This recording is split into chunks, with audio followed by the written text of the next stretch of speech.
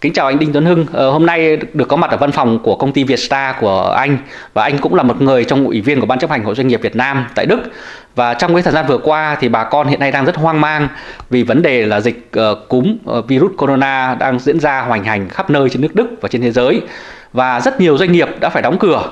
và với vai trò của một ban chấp ủy viên ban chấp hành của doanh nghiệp thì anh có thể có cái tư vấn gì về việc này và anh có thể cho biết thông thông tin là hiện nay các doanh nghiệp thực tế đang như thế nào tại Đức. Xin ờ, kính chào quý khán thính giả của Thời báo.de xin kính chào cộng đồng doanh nhân tại Cộng hòa Liên bang Đức. Nạn dịch Covid-19 đang xảy ra, diễn ra rất nhanh tại toàn bộ châu Âu cũng như là ừ, trên toàn bộ nước Đức. Nạn dịch này đã gây ra sự khủng hoảng về kinh tế tài chính cho châu Âu cũng như là Cộng hòa Liên bang Đức. Để giúp đỡ các doanh nghiệp đứng vững trong cái cuộc khủng hoảng này thì chính phủ liên bang cũng như các tiểu bang đưa ra rất nhiều những cái gói hỗ trợ cho các doanh nghiệp để các doanh nghiệp ừ, đứng vững được qua cái cuộc khủng hoảng này. Doanh nghiệp doanh nghiệp Việt Nam gặp những khó khăn gì trong cuộc khủng hoảng này? Thì trên thực tế, chúng tôi đã tìm hiểu và được biết là các doanh nghiệp Việt Nam thường kinh doanh ở một số ngành nghề như ăn uống nhà hàng, bán lẻ, làm đẹp, cosmetic và cốt san đèn. Thì tất cả đều gặp trực tiếp bị ảnh hưởng trực tiếp của cái cuộc khủng hoảng này. Không có hàng để nhập vào cũng như không hàng để bán ra. Đồng thời khách không đến nữa. Và trực tiếp hiện tại ở tất cả các tiểu bang thì cảnh sát cũng như là phòng trật tự xã hội đã cho giải người đi để thuyết phục cũng như là để ra lệnh phải đóng cửa. Ví dụ như ở Berlin thì các tiệm làm đẹp cosmetic Lagen Studio đã phải đóng cửa và lần lượt sẽ tiếp tục phải đóng cửa. Ở các tiểu bang khác cũng không ngoại lệ. Câu hỏi đặt ra cho tất cả các doanh nhân là lấy tiền đâu để trang trải cuộc sống gia đình? Lấy tiền đâu để trang trải các chi phí của doanh nghiệp khi tổng số thu nhập sẽ trở thành con số không? Và món nợ sẽ tăng dần rất nhanh. Tôi lấy một ví dụ, một quán ăn với tiền biết thờ khoảng 10.000 một tháng bây giờ phải đóng cửa thì toàn bộ thu nhập sẽ không có nhưng hàng tháng là chủ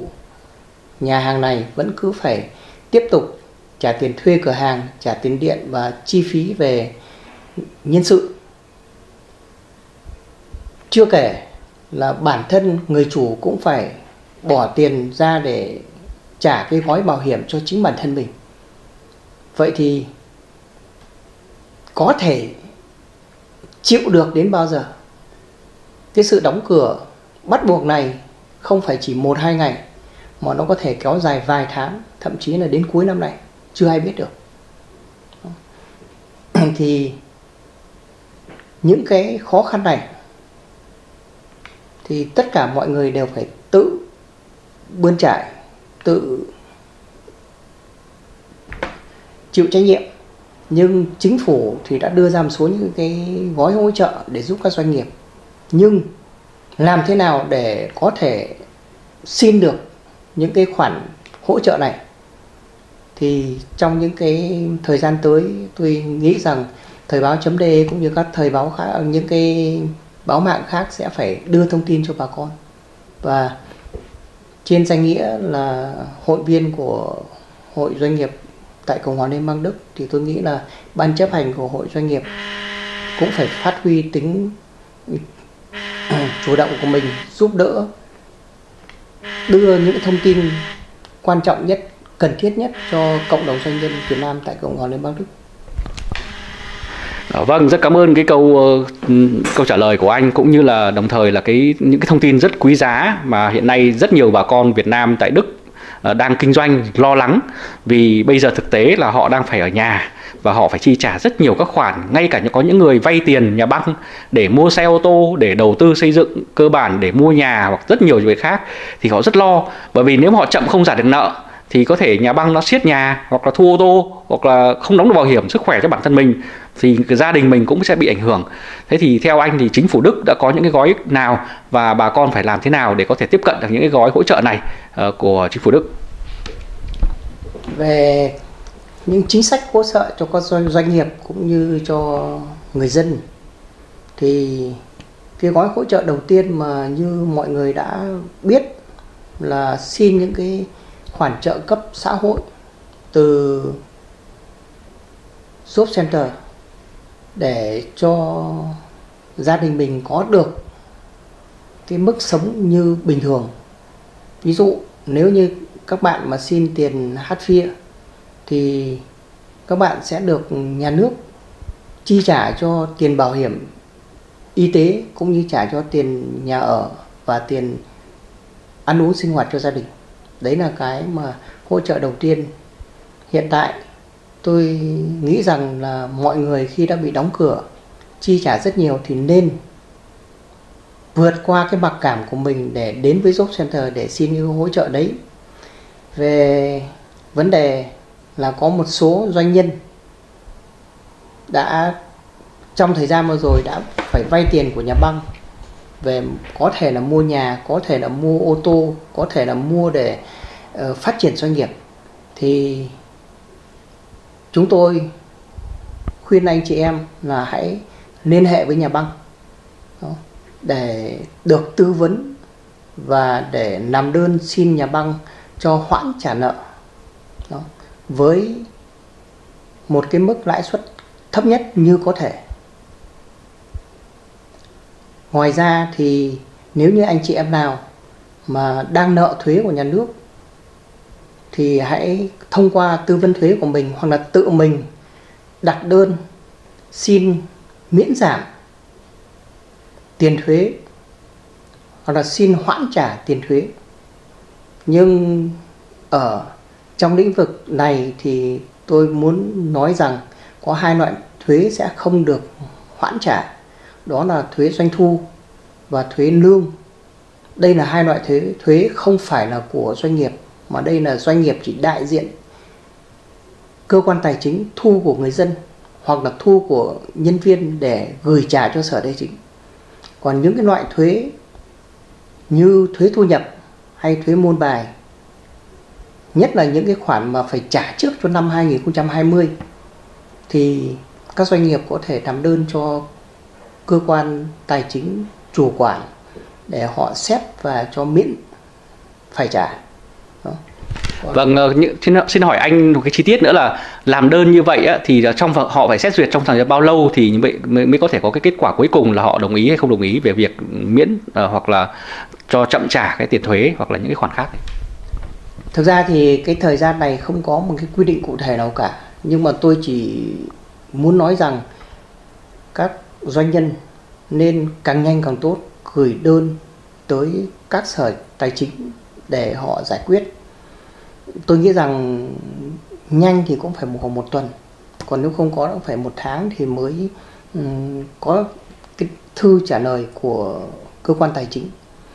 Một trong những cái mình có thể làm được song song với việc đặt đơn để xin hoãn trả thì canh các chị hãy rút lại cái giấy ủy nhiệm cho sở tài chính lấy tiền trong tài khoản của mình. Vì lấy tiền trong tài khoản là nó tự động. Nếu như mình không rút lại trong khi sở tài chính chưa giải quyết xong đơn xin hoãn trả thì uh, tự động là đúng chu kỳ sở tài chính sẽ lấy tiền trong tài khoản của doanh nghiệp. Mà nếu mà doanh nghiệp không có tiền trong tài khoản thì ngay lập tức um, sẽ bị cảnh báo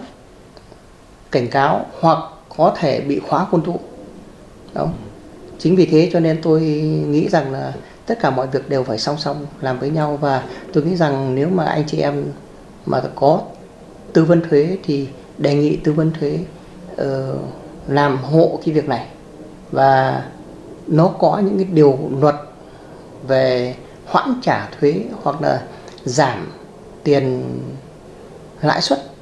trong vấn đề thuế. Ví dụ chẳng hạn như điều 222 của bộ luật thuế chẳng hạn. Đó. Và xin hỏi anh một chi tiết nữa là có những người hỏi là thế tôi nộp những cái đơn đó vào trong sở thuế hoặc là những cái quan nhà nước Đức là phải viết bằng văn bản và gửi bằng thư hay là tôi có thể gửi email hoặc là fax cho họ? Tôi nghĩ rằng là tốt nhất ấy, là gửi trực tiếp bằng thư và trước đó thì ta phát lên đó, ta phải dùng song song bằng cả hai phương pháp còn gửi bằng thư điện tử tôi nghĩ rằng trong cái cuộc khủng hoảng này sẽ rất khó đến tay được cái người trực tiếp giải quyết của mình đó. mà nếu mà được thì các anh các chị hãy gửi bằng thư đảm bảo để có được cái bằng chứng là mình đã gửi vào rồi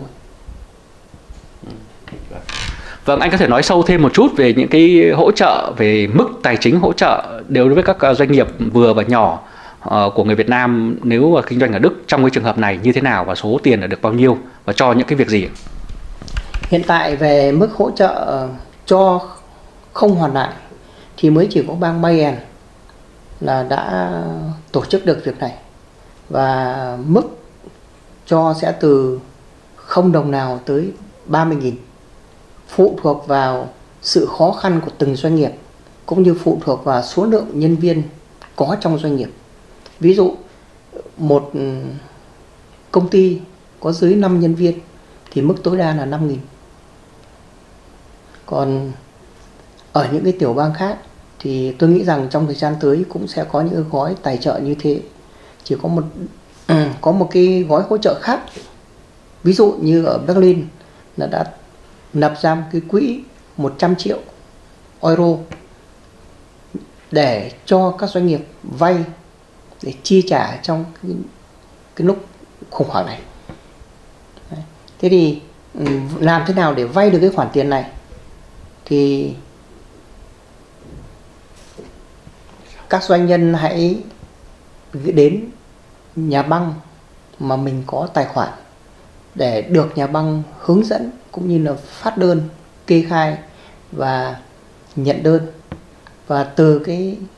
nhà băng mà mình có tài khoản này thì đại diện của nhà băng sẽ gửi tiếp về KFV là ngân hàng tái kiến thiết của Đức và đây mới là cái nơi mà um, giải quyết cho vay tiền và xin hỏi anh một nữa là một bạn đọc hỏi là bây giờ khi tôi vay nhà băng như vậy thì tôi có phải trả lãi suất không? Hoặc là số tiền mà tôi trả lại cho nhà băng bao giờ tôi bắt đầu phải trả lại cho nhà băng những khoản vay đó và trả trong bao lâu? Hiện tại thì chính sách hỗ trợ cho các doanh nghiệp vay tiền thì có rồi. Nhưng đến ngày hôm nay 20 tháng 3 thì tất cả các nhà băng đều trả lời là chúng tôi chưa triển khai được. Họ chỉ mới đưa thông tin là với một lãi, lãi suất ưu đãi nhất hai là điều kiện để cho vay sẽ đơn giản nhất Đấy. thế thì cũng có rất nhiều những tin đồn của các báo nhưng mà ừ, với thông tin cho các cộng đồng doanh nhân thì tôi chưa muốn nói nên nếu như nó chưa chính xác Vâng, rất cảm ơn ờ, anh đã trả lời tờ Thời báo.de ngày hôm nay những cái thông tin cơ bản và quan trọng và chắc chắn là trong những chương trình sắp tới đây thì chúng tôi sẽ liên tục thực hiện những cái bản tin video ngắn để phục vụ những ờ, bạn đọc và đặc biệt là những cái doanh nghiệp Việt Nam đang kinh doanh và gặp khó khăn tại Đức để có thể biết và uh, xử lý những cái tình huống của mình. Và vâng, cảm ơn anh. Vâng, cảm ơn uh, anh Khoa cũng như là xin uh, cảm ơn tất cả các quán uh, các quý khán giả đã nghe cái thông tin này và tôi xin chúc các ờ, doanh nhân giữ vững được doanh nghiệp của mình vượt qua được cái khủng hoảng này. Tôi hy vọng rằng là trong thời gian tới thời báo.de cũng sẽ đưa ra được nhiều những cái clip khác uh, cụ thể hơn về những cái gói hỗ trợ cho doanh nghiệp.